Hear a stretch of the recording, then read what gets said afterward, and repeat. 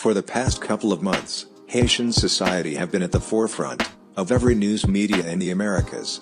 And because of this reason, there have been a lot of speculations and myths circulating about Haiti and its people that we would like to debunk once and for all.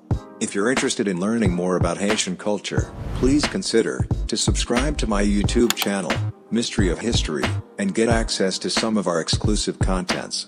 Number 5. All Haitians practice voodoo.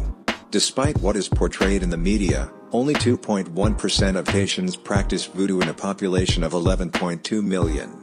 Most Haitians are Catholics and Protestants. Even though voodooism played a significant part in the Haitian Revolution, the majority of Haitians tend to stay away from it because of the stigma that surrounds the religion. Number 4.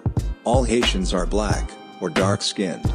Just like most countries in the Americas, Haitians comes in all different shades. Because of the institution of slavery, Haitian society have a variety of different colored people. For reasons that are obvious, a lot of Haitians are mixed with French, Polish, German, Syrians, and Lebanese. Although, these mulattoes are considered the minorities in the country, they are still able to play a significant role in Haitian society. Number 3. Haitians are the only people that speak Creole. Even though Haitian Creole is the most popular, there are a number of other countries that speaks Creole as well, or some form of it. Here's the list of some of those countries that speaks the French-based Creole.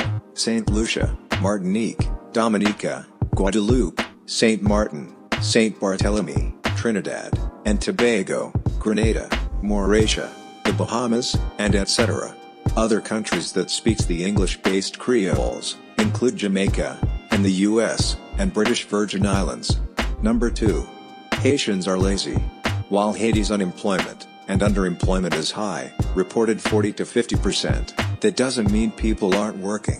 In fact, the people keep very busy, gathering water, caring for their gardens, and creating their own businesses. The country's struggling infrastructure has led to a lack of formal jobs.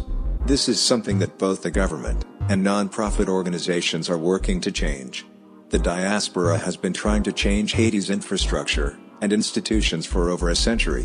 They've always been met with hostility and death threats from the oligarchs that controls the country's economy. Number 1.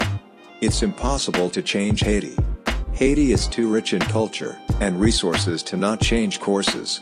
Being the first free black nation in the Western Hemisphere, had put a target on Haiti's back from all European countries that either profited or upheld the beliefs in the institutions of slavery. But, nevertheless, things are improving slowly, employment and education are both improving, as both the government and aid workers focus on these important issues. The CDC reports several improvements related to health, and disease control since the 2010 earthquake. The UNDP reports several encouraging changes. First, there is a focus on a green and protected Haiti. In 2014, 5.5 million seedlings were planted, 50,000 Haitians were sensitized to climate change, and 150 environmental surveillance agents were trained. Second, before his assassination, President Jovenel Moise started working on a variety of projects that would have spearheaded Haiti in the right directions. Projects like 24-7 electricity in the capital, bridges, and roads in the more rural areas, an intelligence agency to fight the insecurity problem, and dedicated funds to combat corruptions in the country's government. Now that I have debunked all these misconceptions, I hope you enjoyed the content, and if you did, please consider to subscribe to my YouTube channel, Mystery of History, just follow the icon in my bio.